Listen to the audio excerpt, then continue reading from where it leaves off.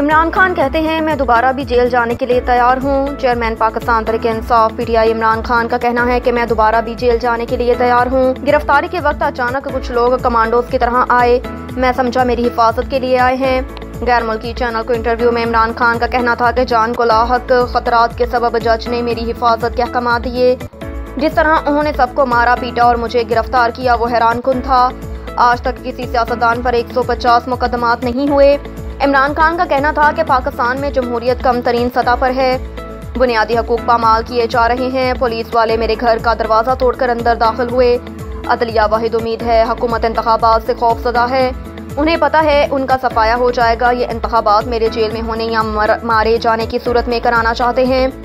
उनका कहना था कि मुझे मारने की दोबारा कोशिश की जा चुकी है। मैं हर तरह की तशद की मसम्मत करता हूँ। चौदह मई को इंतबात का हुक्म, इलेक्शन कमीशन की नजरसानी दरख्वास्त पर समात कल होगी चीफ जस्टिस उमर अताबुल की सरबराही में तीन रुकनी खसूसी बेंच केस की समात करेगा।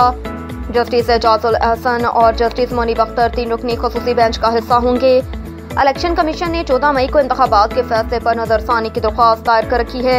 दूसरी जानब पाकिस्तान डेमोक्रेटिक मूवमेंट पीटीएम ने पीर के रोज सुप्रीम कोर्ट के बाहर एहतजाज का ऐलान कर रखा है। पीडीएम के सरबरा मौलाना फजल रहमान ने तमाम सियासी जमातों को सुप्रीम कोर्ट के बाहर एहतजाज की दावत दी है।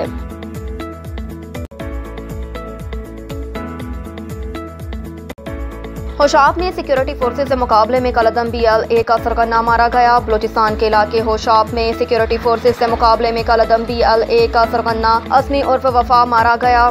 दो रोज कबल होशाब में। सिक्योरिटी फोर्सेज की कार्रवाई में छह दहशत गर्द हलाक हुए थे। सराय के मुताबिक, असमी मासूम शहरियों और सिक्योरिटी फोर्सेज पर हमलों में मुलविस था दूसरी जानब एफ़ सी कैंप मुस्लिम बाग में शहीद तीन जवानों की नमाज़ जनाजा कोयटा गैरियन में अदा कर दी गई।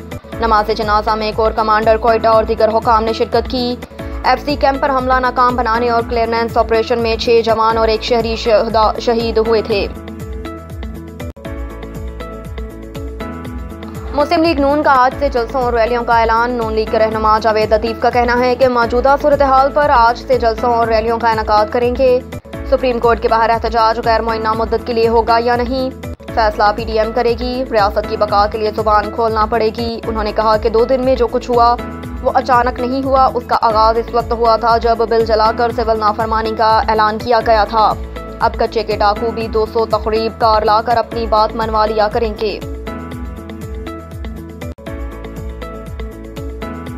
पीटीआई, एहतजाज, नौवीं और दसवीं जमात के मुलतवी शुदा पर्चों का शेड्यूल जारी।